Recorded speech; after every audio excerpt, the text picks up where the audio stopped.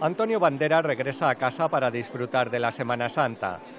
El actor malagueño ha participado este domingo como mayordomo en el desfile del paso procesional de María Santísima de Lágrimas y Favores.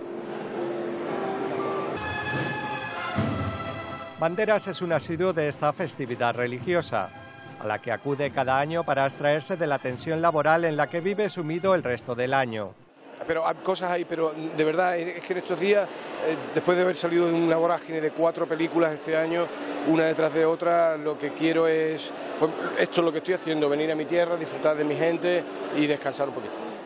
Cercano y afable, el actor ha insistido en la necesidad de promover este tipo de celebraciones entre el público extranjero. Pues cómo, pues quizás con puntos de información en los recorridos, con programas en donde se expliquen las historias de las diferentes cofradías en diferentes idiomas, donde ellos al mirar algo sepan qué es lo que están viendo. Banderas ha viajado en esta ocasión sin la compañía de su mujer, Melanie Griffith, y de su hija, Estela del Carmen. El actor permanecerá aún algunos días en Málaga, antes de regresar a Estados Unidos para seguir trabajando en distintos proyectos.